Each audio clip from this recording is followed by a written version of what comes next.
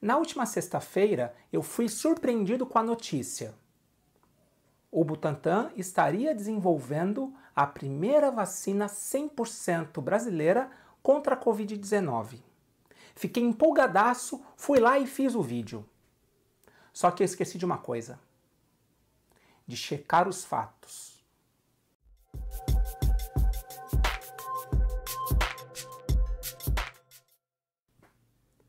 Olá pessoas, sejam bem-vindos a mais um vídeo aqui no canal RapBio.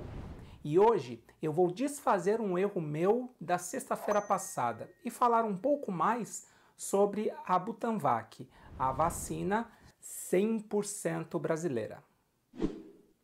Na última sexta-feira, João Dória, governador de São Paulo, e Dimas Covas, presidente do Instituto Butantan, em coletiva de imprensa, haviam comunicado o desenvolvimento da Butanvac, a primeira vacina contra a Covid-19 100% brasileira. Bem, o que a mídia propagou e eu também foi que essa vacina seria desenvolvida a partir de uma plataforma já conhecida pelo Butantan. Dessa forma, realmente, a vacina seria 100% brasileira. Porém, quando eu fui apurar os fatos, essa não é bem a verdade. A confusão se deu principalmente em relação à plataforma utilizada pela Butanvac. Plataforma, nesse caso, significa a técnica utilizada para inserir dentro do nosso organismo um material genético de vírus ou bactéria. É esse material genético que vai fazer com que haja uma reação do sistema imunológico. Dessa forma, a plataforma é um jeito de garantir que esse material genético vá ser inserido no nosso organismo. Foi dito e bem veiculado pela imprensa que a plataforma utilizada para desenvolvimento da Butanvac seria uma já proposta para o vírus da gripe H5N1, que já foi desenvolvido pelo Butantan desde 2011. E como eu disse, a partir disso, já que a plataforma e toda a vacina seria desenvolvida aqui dentro do Brasil, a vacina Butanvac seria 100% brasileira. Em publicações do final de semana, jornais trouxeram reportagens mostrando que, na verdade, a plataforma utilizada para o desenvolvimento da Butanvac é estadunidense, mais precisamente produzida por uma equipe do Hospital Mount Sinai de Nova York. Bem, na verdade aqui o que teria acontecido é que o Instituto Butantan teria pago ah, as licenças para utilização dessa plataforma. História essa que foi confirmada posteriormente pelo próprio Instituto. Por isso, a plataforma não é brasileira. E mesmo que a vacina seja feita aqui no Brasil, ela não pode ser considerada 100% brasileira, certo? Mas, Igor, o que isso realmente importa para o funcionamento da vacina? Na prática, não importa muito. Na verdade, se a vacina se mostrar eficaz e segura, ela pode vir de Marte, de Plutão, Saturno, do, de outro sistema solar, de outra galáxia.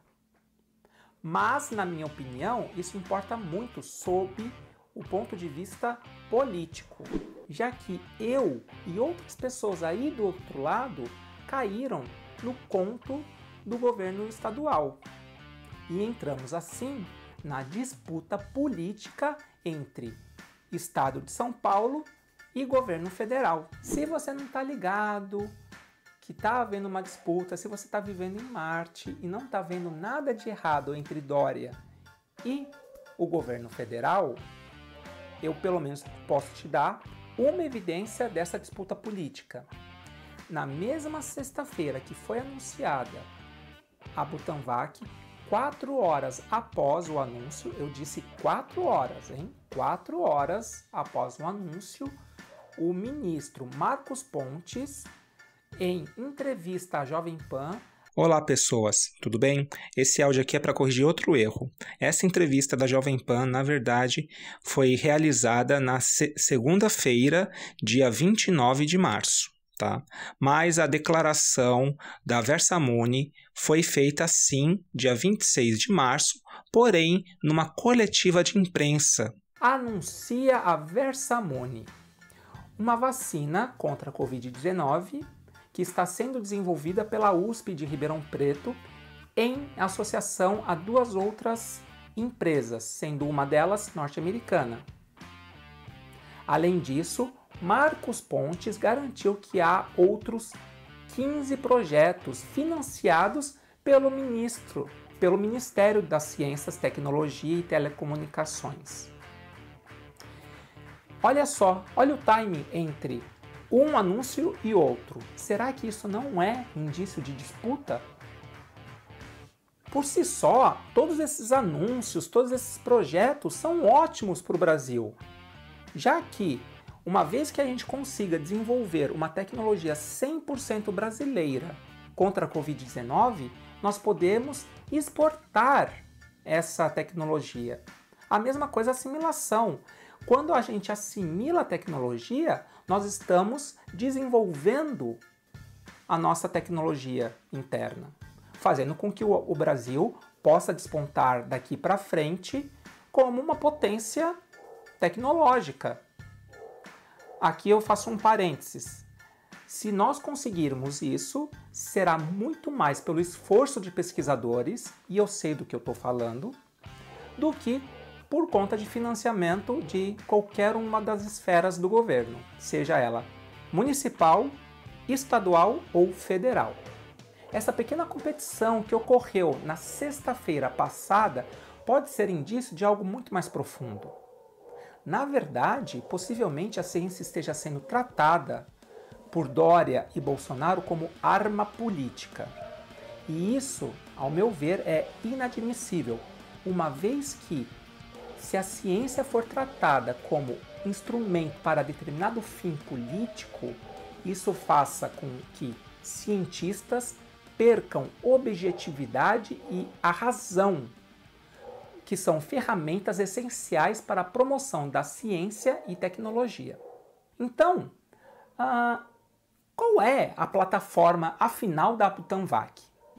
A plataforma utilizada para o desenvolvimento da Butanvac é o vírus Newcastle, que causa como se fosse uma gripe em aves. Ah, pronto! Agora todo mundo vai virar frango. Calma, não é bem assim. Eu vou explicar o que acontece. Essa plataforma está sendo desenvolvida desde 2011, quando a equipe de pesquisadores desenvolvedores dessa vacina conseguiram imunizar macacos contra a gripe humana H5N1. Bem, para isso, os pesquisadores fizeram um misturadão, um batidão entre o vírus Newcastle e o vírus H5N1 da gripe humana.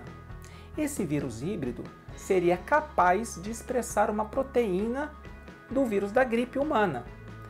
Essa proteína ficaria na sua superfície e seria reconhecida pelo sistema imunológico dos macacos.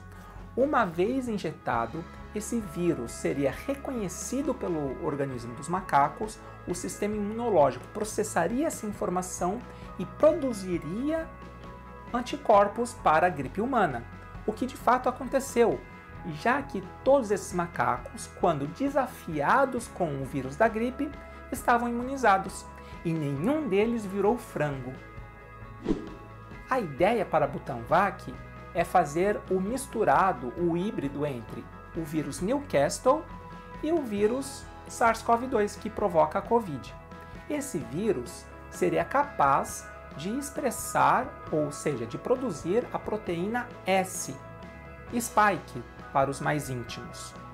Essa proteína, quando injetada no corpo humano, seria reconhecida e o nosso sistema imunológico produziria um anticorpo para bloqueá-la.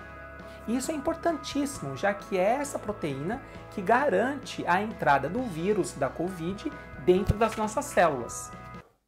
Ah, não sei não, viu, Igor? ah, muito complicado juntar dois vírus, o SARS-CoV-2 e um vírus de frango. Frango! Ah, não, vai dar errado. Calma, deu certo, tá? Pelo menos em camundongos e hamsters. O ano passado, em outubro, foi publicado por essa equipe do Monte Sinai um trabalho mostrando que essa fusão entre vírus Newcastle e SARS-CoV-2 conseguiu produzir anticorpos quando injetados nos animais. Além disso, após a imunização, uh, houve a infecção com o vírus e foi provado que esses animais não desenvolveram a doença. Sendo assim, pelo menos em camundongos e hamsters, essa combinação entre SARS-CoV-2 e Newcastle conseguiu fazer a produção ou fazer com que o organismo dos animais produzisse anticorpos o suficiente para que eles não desenvolvessem a doença. É lógico que há um, um caminho muito grande até a vacina ser implementada, como eu digo aqui nesse vídeo que está no card. A proposta de desenvolver em quatro meses uma vacina é muito arriscada. Eu acho que a gente vai ter um adiamento aí dessa proposta do Dória. E foi para esse híbrido entre SARS-CoV-2 e Newcastle que o Butantan pagou a licença de utilização. Ai, mas Igor, eu não sei. Por que utilizar vírus de frango? Bom, a, a resposta para essa pergunta é bem direta: para tornar a vacina mais barata e segura. Ai, como utilizar vírus de frango vai ser mais seguro e mais barato? Olha, vou lá explicar, beleza? Para cada dose da vacina, dentro há infinitos corpinhos de vírus que, quando injetados no nosso organismo, farão o efeito desejado. Mas para ver todos esses corpinhos de vírus dentro de uma única dose de vacina, é preciso, em laboratório, multiplicá-los. Isso é feito basicamente injetando um corpo de vírus dentro de uma célula. Depois de algum tempo, esse, essa célula terá várias cópias desse vírus. Quando a gente purifica esse, esse material, a gente tem uma dose de vacina. Só que manter essas células no laboratório é muito caro. É exigido pessoal especializado, ambiente limpo e equipamento especial para isso. Um jeito de baratear, de custear essa propagação do vírus é utilizar não células, e sim ovos fertilizados de galinha. Nessa técnica, o vírus é injetado nos ovos fertilizados de galinha. Após isso, espera-se um, um tempo, um dado tempo, suficiente para a multiplicação desses vírus. O, o ovo é aberto, o material do ovo é retirado e os vírus multiplicados, as cópias dos vírus, são purificadas por um outro processo. Essa técnica já é conhecida e utilizada pelo Butantan e ela vai ser utilizada para o desenvolvimento e fabricação da Butanvac. Bem, não sei se ficou claro, mas o melhor para essa técnica, já que a gente está usando ovos fertilizados de galinha, de uma ave, seria interessante utilizar, na verdade, um vírus que infecte naturalmente aves. Olha só, o vírus Newcastle. Por isso, vai, vai se fazer a fusão entre o vírus Newcastle, que infecta naturalmente aves, e o SARS-CoV-2, que é o que carrega o material de interesse para o nosso organismo. Além de mais barata, a técnica é mais segura também, uma vez que o vírus utilizado aqui não naturalmente infecta humanos, além disso, não causa doença. O fato de utilizar um vírus que não causa doenças em humanos torna a técnica muito mais segura. Além disso, o laboratório pode ter um nível de segurança menor do que aqueles que propagam vírus humanos, fazendo com que a técnica fique ainda mais barata. Já que fazer com que laboratórios fiquem mais seguros custa muito mais dinheiro. Espero ter esclarecido um pouco sobre o erro que eu propaguei a semana passada ao falar sobre a Butanvac. Se você quiser saber mais sobre as outras plataformas que estão sendo desenvolvidas aqui no Brasil, por favor, deixe aí nos comentários. Se tiver muitos comentários, eu posso fazer um novo vídeo sobre essas plataformas. Gostou? Então, por favor, dê seu like, compartilhe esse vídeo com mais pessoas. Além disso, para mais conteúdos, se inscreva no canal, ative as notificações e nos acompanhe nas outras redes sociais. O vídeo fica por aqui. Por hoje é só. Um forte abraço, se cuidem e até o próximo. Tchau!